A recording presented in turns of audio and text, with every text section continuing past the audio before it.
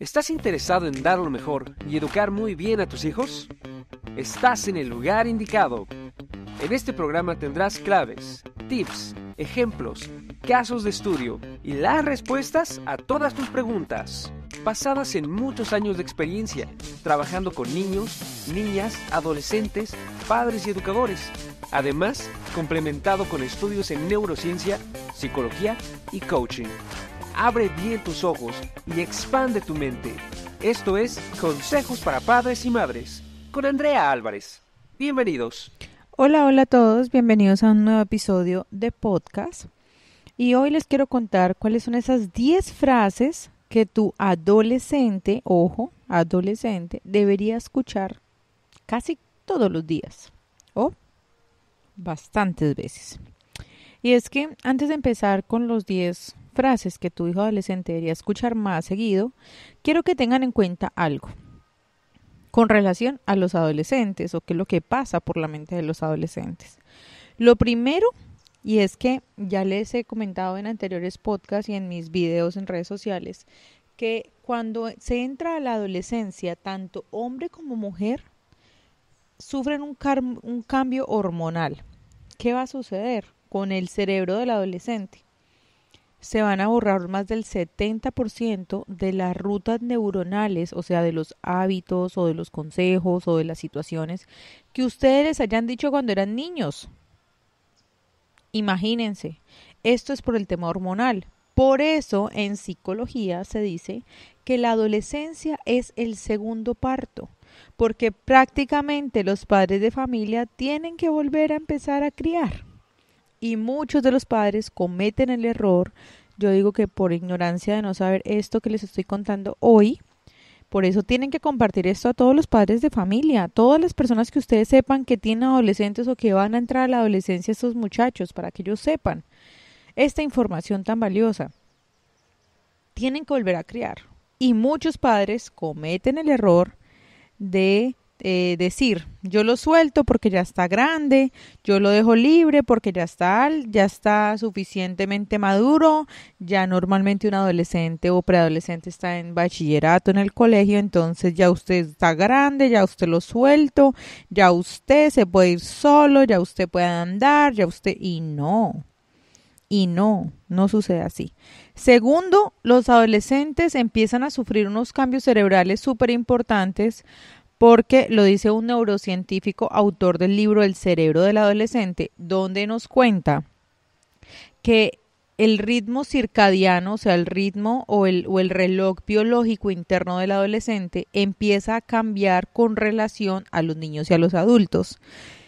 El cerebro del adolescente se tiene que despertar más tarde y tiene que dormirse más tarde. Está neurológicamente, neurocientíficamente probado. Ahora, esto no quiere decir que le vayamos al caguetear a ellos, que se acuesten hasta tarde chateando, jugando, viendo redes sociales y se levanten a la hora que quieran. No. Pero sí te cuento esta información para que tú tengas más empatía y más información para poder educar muy bien a tu adolescente, a tu segundo bebé, porque es el segundo parto. Y tercero, los adolescentes empiezan a tener esa fuerza de ser independientes, libres y al mismo tiempo exigir justicia. Por esta razón, estas son las 10 frases que tu adolescente debería escuchar más seguido. Primero, el adolescente requiere escuchar de ti. Cometí un error, lamento haberte lastimado, siento mucho lo que dije, o siento mucho la situación por la que estamos pasando, etcétera, etcétera, etcétera. Es muy importante que los padres de familia reconozcan su error y pidan disculpas. Nos han vendido una historia falsa, una creencia demasiado falsa, donde dicen que si tú bajas la guardia, que si tú pides disculpas, que si tú aceptas tu error delante de tu hijo, te va a ver la cara de bla, bla, bla, bla, y además no te va a valorar, no te va a querer, no te va a respetar, te va a ver como un payaso, etcétera, etcétera, etcétera. Y les cuento, queridos papás, que no es así. Al contrario, esto te hace grande. Esto hace que tu hijo te respete, te admire, sienta inspiración para ser como tú o mejor que tú. Y no va a cargar rabias ni rencores ocultos en tu contra, sino que te va a ver como un humano más. Y así le estás enseñando a él que cuando uno se equivoca pide disculpas. Muy importante. Y eh, que muchos adolescentes no piden disculpas, ¿no? Entonces podrías tú, pidiendo disculpas tú, enseñarle a él cómo se pide disculpas. Frase número dos. Es bueno no estar de acuerdo siempre. Es bueno hacerlo saber con respeto. Así que aprecio tu honestidad. Esto se lo vas a decir al adolescente cuando él te diga, no me parece, no estoy de acuerdo, yo tengo otro punto de vista. ¿Ok? Le vas a decir, es bueno no estar de acuerdo siempre. Es bueno hacerlo saber con respeto. Aprecio tu honestidad y no caer en la trampa de la criticadera, de la juzgadera. ¿Tú por qué piensas eso? ¿Y a ti quién te dijo eso? ¿A ti qué te pasa por la cabeza? ¿En qué momento? No sé qué. Esos son sus amigos que le han metido estas ideas falsas en la cabeza. No, si tú entras con esta actitud del segundo, del segundo consejo que te estoy dando, le vas a abrir la puerta a tu hijo para que sea honesto y te cuente más acerca de dónde sacó estas ideas. Y así tú lo puedas guiar. Así tú puedes saber quiénes son esos amigos que le están llenando la cabeza de cucarachas, como decimos acá en Colombia. Así tú puedes saber cuáles son realmente esos sentimientos, pensamientos y meditaciones que está teniendo tu hijo para que tú lo puedas guiar y puedas ejercer tu autoridad con amor y sabiduría. Frase número 3. Me gustaría pasar el tiempo contigo o me gusta pasar el tiempo contigo. Esto es importante porque en la etapa de la adolescencia, sobre todo, eh, en este cambio hormonal que les contaba en la introducción, los adolescentes empiezan a sentirse feos, muy altos, muy bajitos, muy flacos, muy gordos, muy blancos, muy negros, muy rosados, muy con granos, muy sin granos, con brackets, con gafas, etcétera, etcétera, etcétera. Y en más que cualquier etapa de la vida, es en la adolescencia donde se va a reflejar el querer pertenecer a un grupo, o el querer sentirse aceptados por alguien. ¿Y qué más que seas tú? Entonces, también he visto muchísimos casos donde los papás le dicen a sus hijos adolescentes, adolescentes, no tienes nada más que hacer, estás al lado mío, o sea, yo también necesito mi espacio. Y si en el colegio le han dicho esto, es un niño muy tendiente a sufrir de depresión, de ansiedad y cuando sea un adulto, tener que sanar heridas de rechazo o de abandono. O sea, prácticamente va a ser un adulto celoso, obsesivo, compulsivo, abusivo, sin límites y con muchísimo rencor. Así que es mejor que le digas que quieres pasar el tiempo con él y que te gusta pasar tiempo con él. En la frase número cuatro que deberías decir a tu adolescente es, Hablemos de eso. Quiero entender tu punto de vista. Cuando le dices a tu hijo que quieres hablar de eso, para entender el punto de vista de él, primero se va a sentir aceptado. Segundo, va a sentir que es valioso para ti saber él cómo piensa. Y tercero, se va a sentir con autonomía, poder e importancia. Y todos los seres humanos queremos sentirnos así, como que somos importantes para alguien. El punto número 6, el perdón, el punto número 5 o la frase número 5 es no tengo respuesta a eso, pero podemos buscarla juntos. También aquí juega un papel súper importante del orgullo de los papás y de las mamás. Y es que muchas veces los hijos preguntan algo y ellos por Mm, no pare, por no querer mostrarse ignorantes a la situación, van a decir, es el colmo que tú me estés preguntando esto, o sea, ¿tú no lo sabes? Por evadir que, no, que los papás tampoco saben. Entonces, eh, es importante que si tú sabes, pues le expliques, nada de juicio ni ahí es el colmo que nadie nace aprendido. Y segundo, si tú no lo sabes, tú le vas a decir, oye, qué interesante tu pregunta pero, ¿sabes? Yo no sé eso. Entonces ven y la buscamos juntos. Y cuando eso sucede, puedes sumar a la frase número 3 que dice me gusta pasar el tiempo contigo. ¿Ves? Ahí estás creando conexiones reales y profundas con tu adolescente. 6. Estoy muy feliz de tenerte en mi vida. Es importante que le repitas al adolescente que es que tú te sientes a gusto, que estás muy feliz de que ese sea tu hijo, que estás muy feliz de que él exista, que hace tu vida mejor, que te hace sentir más vivo, que te hace sentir retado, retada por crecer, por aprender, por compartir, por ser mejor persona. Es importante que le digas todo esto. Y además que es verdad, cuando los padres se convierten en padres, son un reto para conseguir mayores ingresos, para que les rinda más el tiempo, para empezar a ser más inteligentes con las finanzas, con, el, con la salud, con la alimentación, empiezan a tener más cosas en qué pensar y más tiempo en qué disfrutar. Como punto número siete, y es em, muchas veces eh, los adolescentes no piden disculpas porque no escuchan esto. Séptima frase, te disculpo, todos cometemos errores. Muchas veces los padres, por querer dejar una lección aprendida a sus hijos, les aplican la ley del hielo, o sea, no hablan, no les responden, o sea, no les son un cero a la izquierda.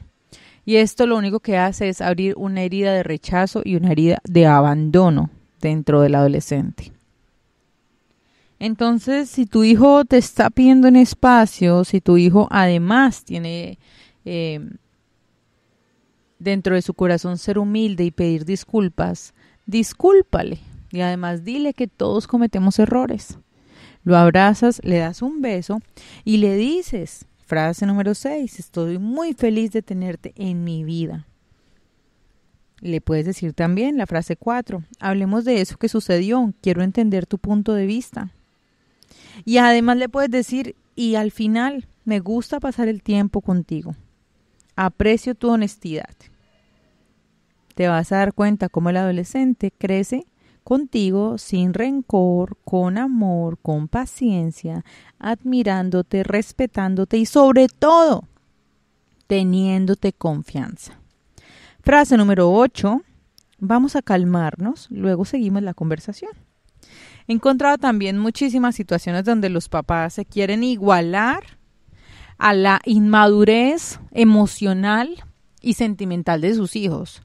Les recuerdo que ustedes son los adultos. Los adolescentes hasta ahora están volviendo a desarrollar sus rutas neuronales. Por eso empecé como empecé. Por eso es importante que ustedes se tomen el rol de padres y sepan que sus hijos adolescentes están súper inmaduros cerebralmente. Hasta ahora se les, está empezando a desarrollar el, el cerebro prefrontal, que es el encargado de tomar decisiones racionales y lógicas. Ellos están actuando desde la amígdala, que es el cerebro emocional. Y tú debes ayudarle con tu madurez, con tu razón, con tu lógica, con tu conocimiento y con tu entendimiento, cómo se madura racionalmente. Así que no te iguales al adolescente, no te iguales a gritar, no te iguales a totear la puerta, no te iguales a, a ser grosero, no te iguales a hacer la ley del hielo, no te iguales a contestar, no te iguales a decirle no me hable, no te iguales. Tú eres el papá, tú eres la mamá. Frase número 9, y esta la vamos a ahondar en otro podcast, ya les grabé, y ya está subido en mis redes sociales el tema, mm, no tan explicado como lo hago en formato podcast, y es reconocerle hasta el más pequeño triunfo. Esto va a sentir, primero va a causar en ellos en su cerebro una producción de oxitocina y serotonina, o sea, los encargados del placer, la satisfacción, la felicidad. Segundo, va a empezar a acrecentar la confianza en él, porque va a sentir que logró algo, así sea una pequeña meta. Y tercero, va a ver cómo es posible agradar a una de las personas que más ama. Y esto es muy importante, sentirse validado y aceptado por sus padres. Así que la novena frase que un adolescente debería escuchar más seguido es, te estás esforzando mucho, estoy orgulloso o orgullosa de ti, tú deberías sentirte orgulloso también. Frase número 10 y última, no hay nada que puedas hacer o decir para que yo deje de amarte. Esto es muy importante porque ustedes no se imaginan yo creo que el 99.9% de los adolescentes con los que yo trato a diario me dicen, es que mi papá o mi mamá no me quieren. Mi papá o mi mamá no me, no me aman. Mi papá y mi mamá les gustaría que yo no hubiera nacido, que yo no existiera. Y yo sé que eso es falso, yo sé que es de esa totalidad de papás, todos me dicen como no, yo lo amo, yo lo adoro, yo lo quiero, pero Nunca se le dice a los muchachos esta última frase, por eso es tan importante, que tú le digas, no hay nada que puedas hacer o decir para que yo deje de amarte. A pesar de todo, voy a amarte. Y ahí lo sumas a otras frases, porque estoy muy feliz de tenerte en mi vida, porque te disculpo, porque todos cometemos errores porque me gusta pasar el tiempo contigo, porque quiero entender tu punto de vista. Es bueno que no estés de acuerdo, pero por eso aprecio tu honestidad y lamento haberte lastimado. Y borrón y cuenta nueva. Siempre van a ser tus hijos, no vas a tener ex hijos, así ellos se mueran primero que tú, así tú te mueras primero. Siempre serán tus hijos. Vale la pena, vale la pena cumplir cada uno de estos 10 frases que les he regalado hoy para tus hijos preadolescentes o adolescentes, inclusive si son adultos. Sería muy bueno que se las dijeras. Así que comparte este podcast con todas las personas que tú sabes que tienen hijos. Síganme en todas mis redes sociales, estoy como arroba yo Andrea Álvarez y nos vemos en el próximo episodio. Chao, chao. ¿Estás interesado en dar lo mejor y educar muy bien a tus hijos? Estás en el lugar indicado. En este programa tendrás claves, tips, ejemplos, casos de estudio y las respuestas a todas tus preguntas, basadas en muchos años de experiencia, trabajando con niños, niñas, adolescentes, padres y educadores. Además, complementado con estudios en neurociencia, psicología y coaching abre bien tus ojos y expande tu mente. Esto es Consejos para Padres y Madres con Andrea Álvarez.